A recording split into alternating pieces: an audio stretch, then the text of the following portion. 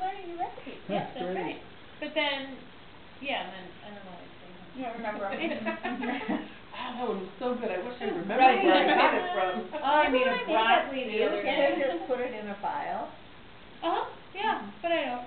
Can you just, well, if you just got I made broccoli in the refrigerator, can you put broccoli Oh, in? She yum. do Do you remember that lunch we had the other day? Yeah. Caramelized onions with the broccoli, that was Yeah. really, I thought it was good. You didn't like it, it was better